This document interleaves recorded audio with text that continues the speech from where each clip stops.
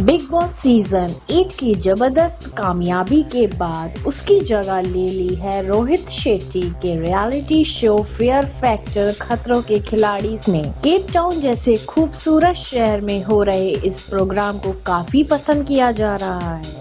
हर साल की तरह इस बार भी शो के होस्ट हैं बॉलीवुड इंडस्ट्री के जाने माने डायरेक्टर रोहित शेट्टी। और जब बात हो रोहित शेट्टी जैसे मशहूर डायरेक्टर की तो भला एक्शन से भरे स्टंट्स कैसे पीछे रह सकते हैं?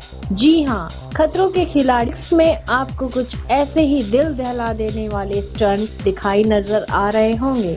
शो के स्टार्टिंग में पहुँचे 14 कंटेस्टेंट्स में से अब तक रिधि डोगरा, हर्षद अरोड़ा, सिद्धार्थ भारद्वाज, अर्चना विजय और रश्मि देसाई एलिमिनेट हो चुके हैं।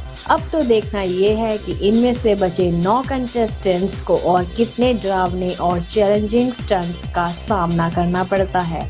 तो बॉलीवुड की और मसालेदार खबरों के लिए सब्सक्राइब करना ना भूलिए हमारा चैनल बॉलीबर्स वर्ल्ड